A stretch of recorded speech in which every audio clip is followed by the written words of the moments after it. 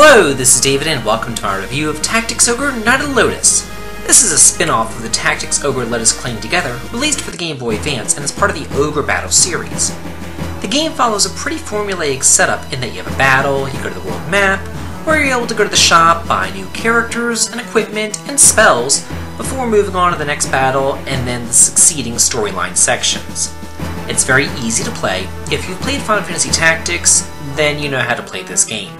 However, the Tactics Ogre series was released before Final Fantasy Tactics, so if anything, Final Fantasy Tactics is a ripoff of Tactics Ogre. The gameplay is that of a turn-based strategy RPG where you have control of 8 party members who can die permanently, but unique characters that join you for storyline purposes that cannot permanently die off. However, if your regular party members die, you can really just always go buy new ones. There's a very good variety of the various battlefields that you're going to fight in, and as far as the fields go, they pretty much have the same objectives, either to kill all the enemies or to kill the leader. There are multiple endings and branching story paths, although this being an older game, the multiple endings and branching story paths aren't that big of a deal because they don't vary that much from each other. But they are there, and for a Game Boy Advance game released in the early 2000s, I think that's a really good thing.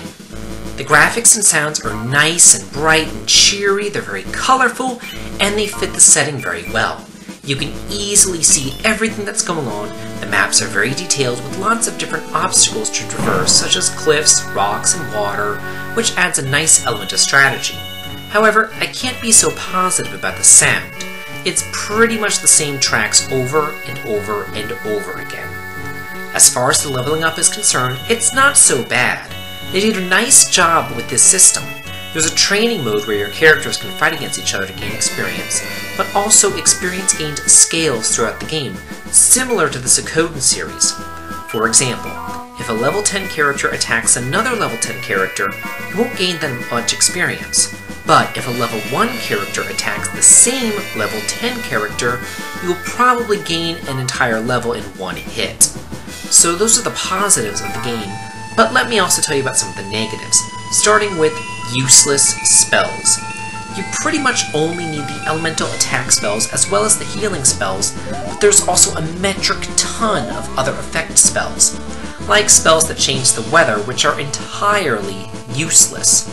Speaking of other useless things, let's talk about the classes.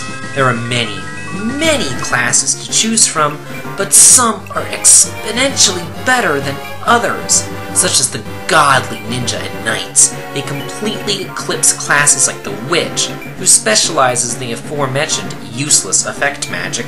There's also beastmasters and dragon tamers, and they pretty much suck. And those are the advanced classes.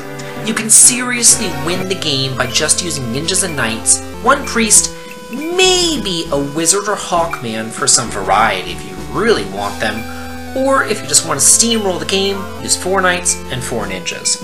Also, to add insult to injury, the knight and ninja classes are going to be pretty much the first classes that you gain. The way that you gain those classes is through the emblem system. By doing various actions in battle, you gain emblems. For example, you gain the Sniper emblem by killing an enemy with a bow and an arrow, and that would allow one particular character to become the Archer class. There are many different ways to go about gaining these emblems and classes, but for the most part, it's a fool's errand because why bother? The Knight Ninja do everything that you're ever going to need anyway. So it's actually kind of a nice positive that you really don't need to stress yourself out over the class or emblem systems. The storyline is enjoyable, but it honestly just boils down to 20 hours of, you must get the spear! It's pretty bare bones, but good. Finally, the AI in the game is pretty terrible.